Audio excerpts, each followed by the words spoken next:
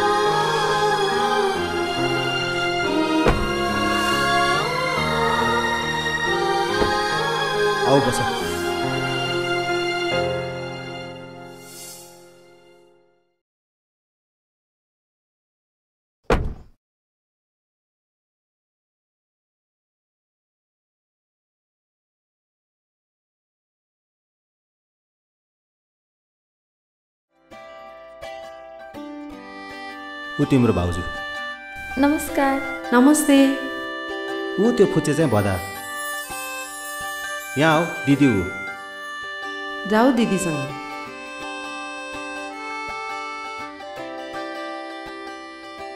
ल जाउँ। माथि हिँड। हिँड्छु जाउँ भित्र।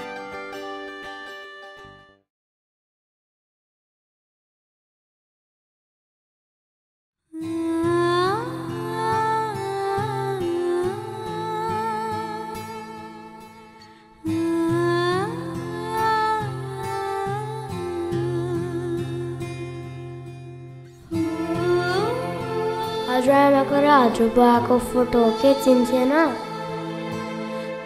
दाईको अनुहार त ठ्याक्कै बाबासँग मिल्दो रहेछ। आज दाईको रूपमा बाबा पनि पाएँ। यो बाबाको फोटो हेर क्या हजुरबुवाको फोटो हो। चिने तिम्रो हजुर बाबा मेरो बाबा हो। हो सबै यसैलाई थाहा छ। यो हजुरबाको नि बा हो नि। यत्रो दिन हजुर कता रहेछ त्यो? म मात्रै घरमा एक्लै थिएँ। म अलि टाढा थिएँ नि त सानो। अब आइसकेँ नि हस्। आइसकेर म हजुरलाई सबै रुम देखाउँछु।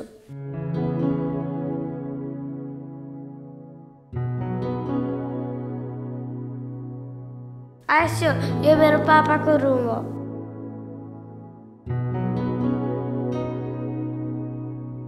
हिँड्छु म हजुरलाई मेरो रुम देखाउँछु।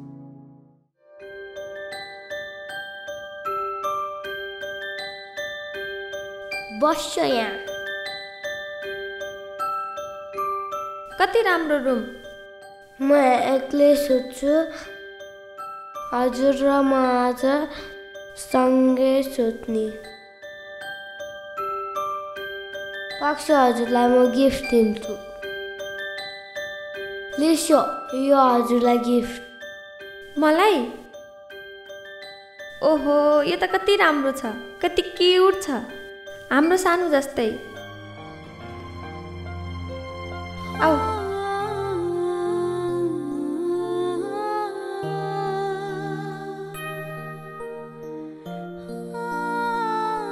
आइसो म हजुरलाई मेरो पिन पनि देखाउँछु।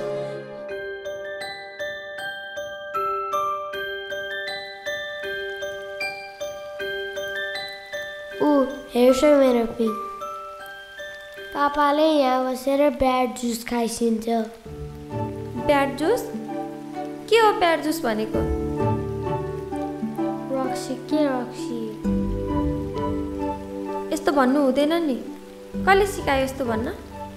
अबदेखि नभन्ने हस् हस्।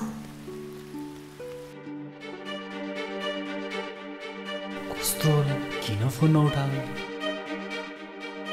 hello Raj. Hello Sapna. तिमी फोन पनि रिसिभ हुँदैन। के भयो तिमीलाई? मैले फोन आएको थाहै पाइनँ राज। तिमी त ठिकै छौ नि। म ठिक छु तर तिमीसँग भेटेर धेरै कुरा गर्न छ राज मेरो जीवनको बारेमा। के कुरा हो भन न। मेरो जीवनमा मैले सोच्दै नसोचेको कुराहरू भइरहेछ राज। म तिमीलाई सबै कुरा भेटिसकेपछि मात्रै भन्छु। के कुरा हो भन न सपना। मलाई कस्तो टेन्सन भयो कि? टेन्सन नल्याउ न यो सबै खुसीको कुरा हो। कस्तो खुसीको कुरा? सबै कुरा म तिमीलाई भेटेरै भन्छु। भोलिसम्म त वेट गर न। ल ल भोलि छिटै आऊ है त। ल राज म अहिले राख्छु।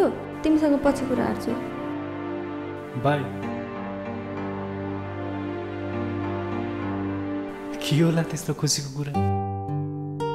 कहिले भोलि होला जस्तो भइसक्यो?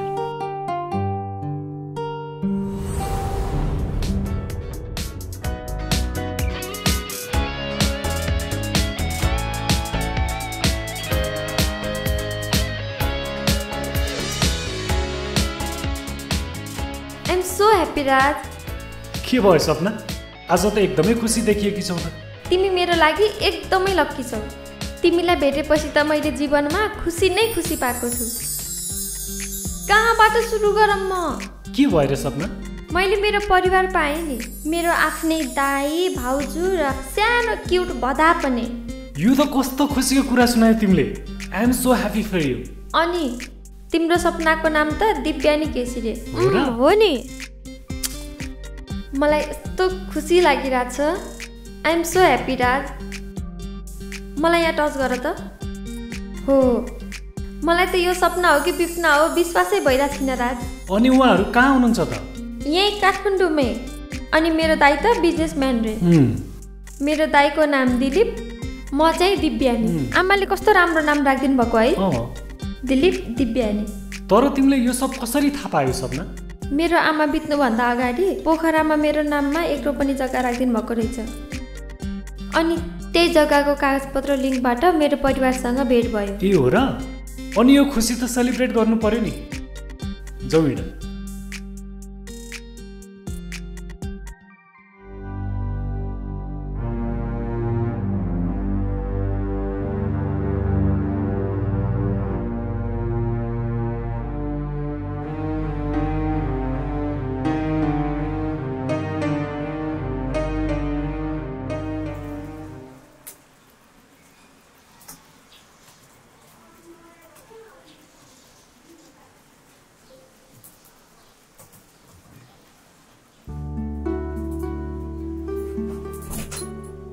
ओए के पो तँलाई? खुबै ठुस्केकी छस् त किन ठुस्केको यसरी? के हो? कलेजबाट आउँदा त अनुहारै रातो र पिरो छ त। के होइन दादा? यतिकै टेन्सन भइरहेको छ।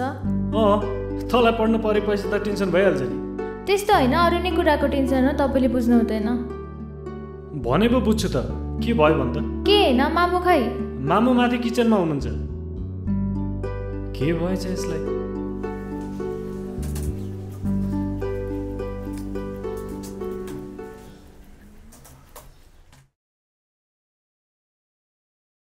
मामु।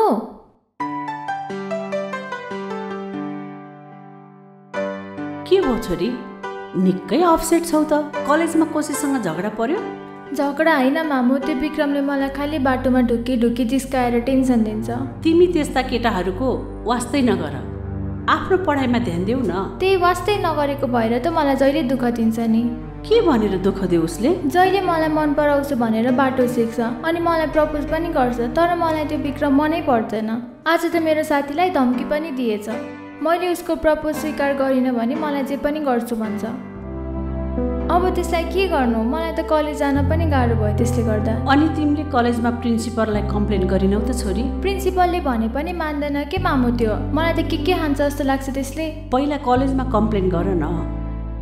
सरहरूले त्यस्ता बदमासहरूलाई त ठिक पारिहाल्नुहुन्छ नि। यो उमेरमा यस्ता समस्याहरू आउँछन्।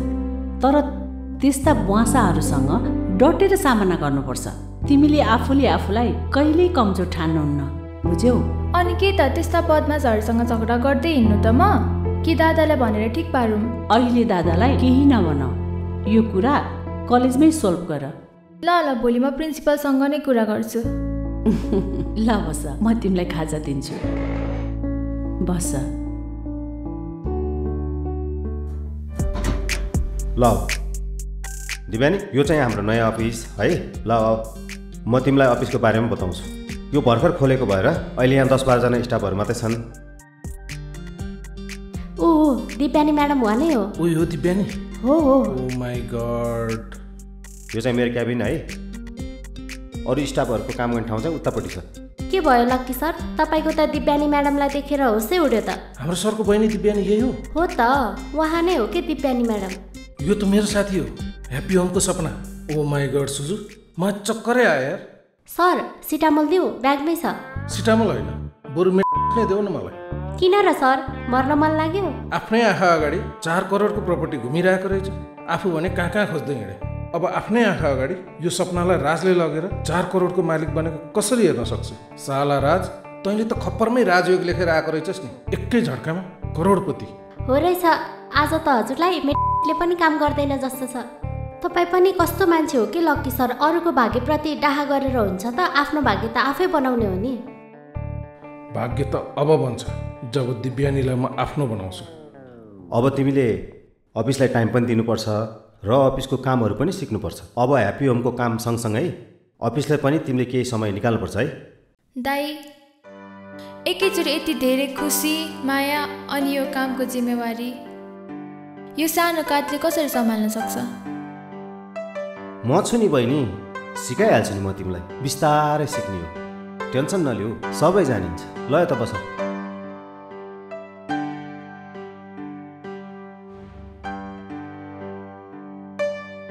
सर यो फाइल हेर्नु न। के छ प्रोग्रेस ओके गुड सुजु हजुर सर यो नयाँ अफिसको सिस्टम काम सबै दिव्यानीलाई सिकाउनु। अनि दिव्यानी तिमीले नबुझेको कुरा जति सबै सुजुलाई सोध्नु है? हस् दादा। तिमीले अब धेरै प्रगति गर्नुपर्छ र डिजी ग्रुपको नाम उच्च बनाउनुपर्छ। हस् दादा। ओके गुड लक उसलाई लिएर जाऊ। अफिसको के के छ बुझाइदेऊ है। हस्। ल ल सुजुसँग जाऊ।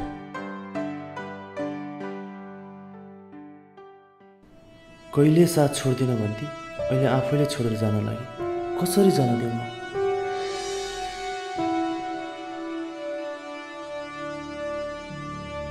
तर उसले पनि त आफ्नो बारेमा सोच्नु पाउने अधिकार छ नि। मैले मात्र माया गर्छु भनेर। के गरौँ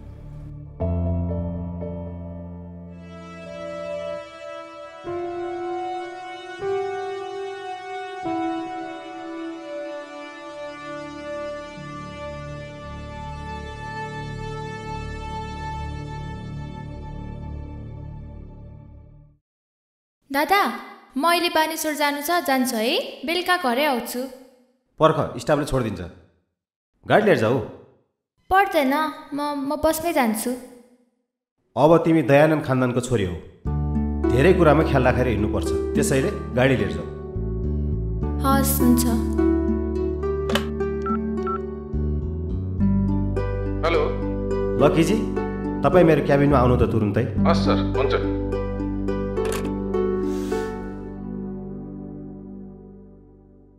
हजुर सर। उहाँ लक्की यो अफिसको म्यानेजर र ऊ चाहिँ मेरो बहिनी दिव्यानी।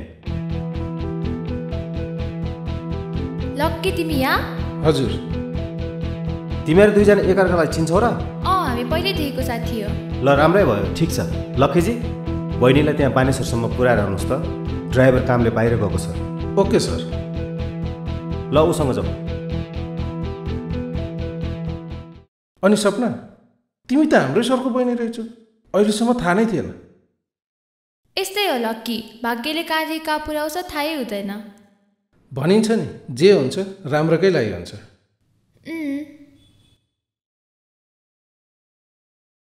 बस सपना।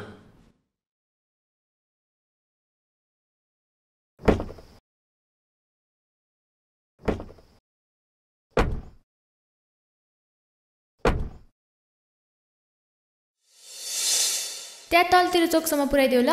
तिमी भन न मात्र तिम्रो लागि लाइफ टाइम ड्राइभर बन्न रेडी छु यार। लक्की तिमीले त जिन्दगीभर मेरो ड्राइभर बन्छु भन्थ्यौ नि।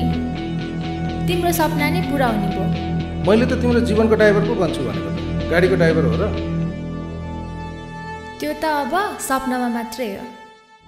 तँलाई मेरो जालमा पारेपछि सबै कुरा पुग्छ अनि थाहा पाउँछिस्।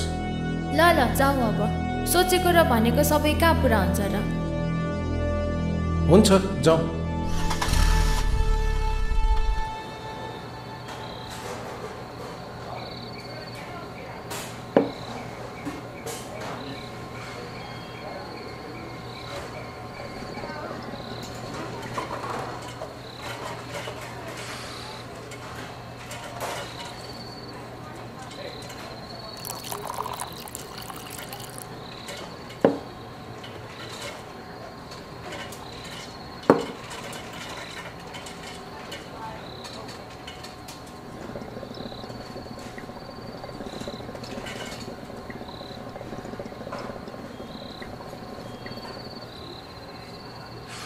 के हो एलेक्स। त त आजभोलि खुब धेरै ड्रिङ्क्स गर्न थालेछस्। यति धेरै नखान यार एलेक्स। यस्तो नगर न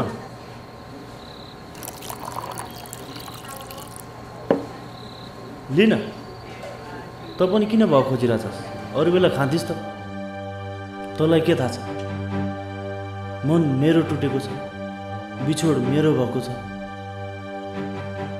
पीडा त मलाई भएको छ नि यार। थाहा छ। बुझ्छु म तेरो पीडा। तर पीडा भयो भन्दैमा यसैमा डुब्नु त भएन नि यार। अनि तैँले नि भने होइन त जीवनमा दुई चारवटा गर्लफ्रेन्ड बनाउनु पर्छ भनेर। अनि त्यो एउटैले छोडेर जाँदा यो सब किन? भन्न त भनेको हो नि यार। तर भन्नु र भोग्नुमा धेरै फरक हुँदो रहेछ। मैले सोचेको पनि थिइनँ कालीले मलाई छोडेर जान्छु भनेर। मैले नै त्यसलाई यति माया गर्छु भन्ने कुरा मलाई पहिला थाहा नै भएन यार। तर जब आज मलाई छोडेर जाने कुरा गरे नि बल्ल यो फिलिङ्स बुझ्दैछु राज। यो सबै कुरा सम्झेर ल्याउँदा यो छाती पोलेर आउँछ यार। यो पीडा कसरी शान्त पारौँ त। यो सब छोड एलेक्स। तेरो यही मायालाई सम्झेर रोशनी एक दिन आउँछ। साँचो माया कहिले पनि टाढा हुँदैन एलेक्स। मैले भनेको मान यो सब छोड्दै। बरु घर। राज मेरो दोस्त म चाहन्छु तैँले यो पीडाको अनुभव कहिल्यै गर्न नपरोस्। साह्रै गाह्रो हुन्छ यार। तँ नखाने भए जा। मलाई एक्लै छोड्दै। म एक्लै बस्न चाहन्छु। साले सबै बिर्सिस। तेरा गम मेरा गम ए दोस्ती हम नै तोडेङ्गे भनेको यो कसम यो माया प्रेम सबै स्वार्थ हो त पनि छोडेर जान्छस् एक त्यो कालीले जसरी तेरो सपनासँग यसरी मिस दिव्यानीसँग यो स्वार्थले भरिएको दुनियाँ हो जति छिटो यसलाई चिन्न सकिस् त्यति नै छिटो यो पीडाबाट टाढा रहन्छस् मेरो दोस्त। साले तैँले मलाई अहिलेसम्म चिन्न सकेको छैनस् है। म कसरी स्वार्थी भएँ? झन् तँलाई राम्रो कुरा भन्दा त उल्टै मसँग रिसाउँछस्। यो सब भन्ने कुरा हो। जब पर्छ नि तब थाहा हुन्छ। तँ जा तेरो सपनासँग आज मलाई कोही चाहिएको छैन मलाई मेरै पीडामा रम्न। जा।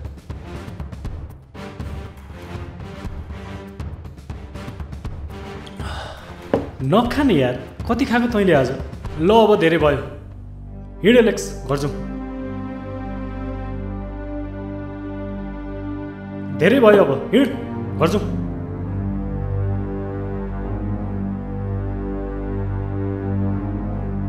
हिँड न जान्न म। मलाई एक्लै छोडिदे के गर्छ? भोलि म रोशनीसँग कुरा गर्छु के?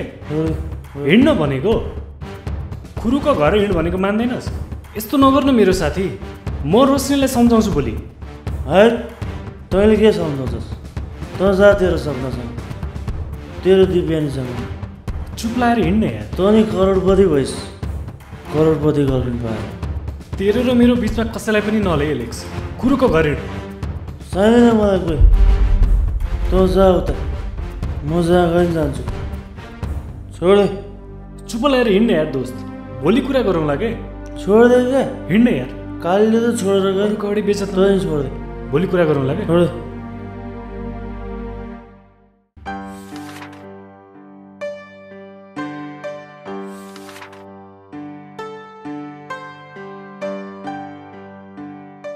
सुजु। हजुर म्याम।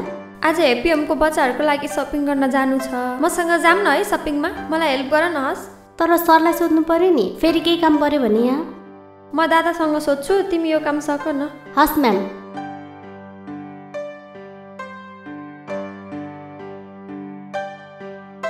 सुजु मैले दादालाई सोधेँ हस् भन्नुभएको छ जाउँ। जाउँ न त।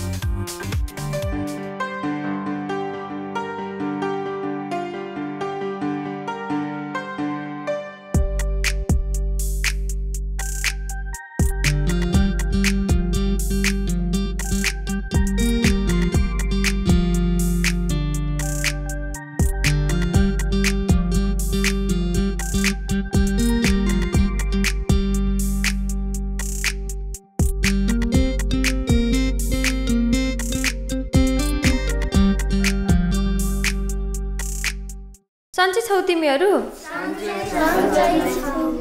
ल मैले तिमीहरूलाई के के गिफ्ट ल्याइदिएको छु चिम्मा गर त। सबैजना।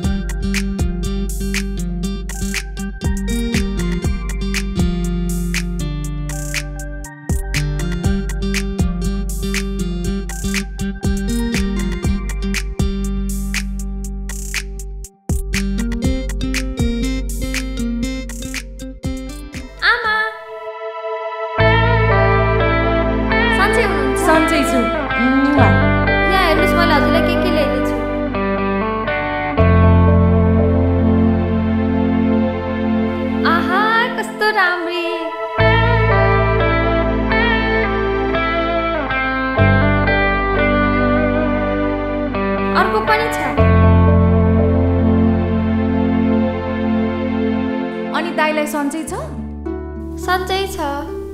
मैले कति मिस गर्छु हजुरहरूलाई? हामी पनि त कति सम्झिन्छौँ तिमीलाई। हजुर पनि उही हिँड्नु न। हुन्छ म भेट्न मसँगै हिँड्नु न। म्याम ए साँच्चै। आमा ऊ चाहिँ मेरो साथी सुजु। नमस्ते आमा। नमस्ते नानी। हाम्रो अफिसमा काम गर्नुहुन्छ अनि मलाई एकदमै माया पनि ए गर्नु ए। म्याम हामी बाहिर जाने भनेको के गर्ने?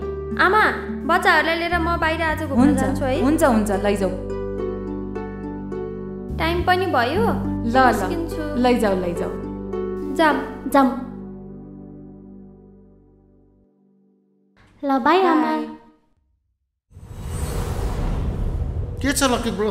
किन बोलाएको? ठिकै छ यार। ओ ऱ्यान्डम ब्रो तँलाई एकैचोटिमा करोडपति बन्ने मन छ? करोडपति बन्ने मन कसको नहोला र ब्रो? तर कसरी? सुन मसँग एउटा बवाल प्रोजेक्ट छ। तैँले त्यसको म्यानेजमेन्ट मात्रै गर्नुपर्छ। गर्छस्? म्यानेजमेन्ट गरेर पनि कोही करोडपति बन्छ? नचाहिने कुरा नगर्न ब्रो। साँच्चीकै करोडपति बन्ने भए मेरो कुरा ध्यान दिएर सुन। के हो? भन्न त। ल सुन मेरो master plan.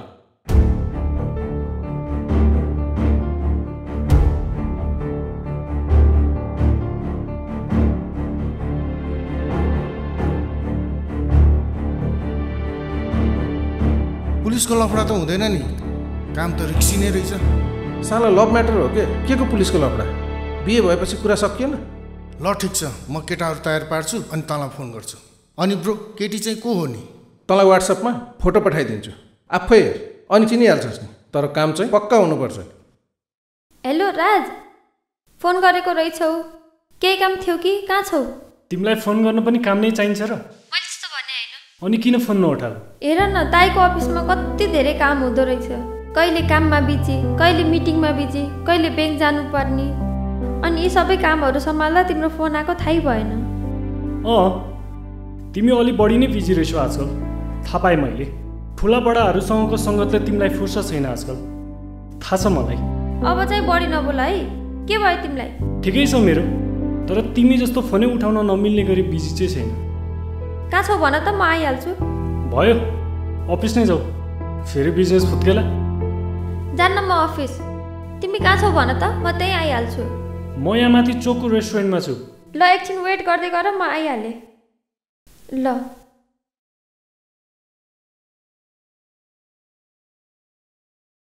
Hi Sapna. Hello.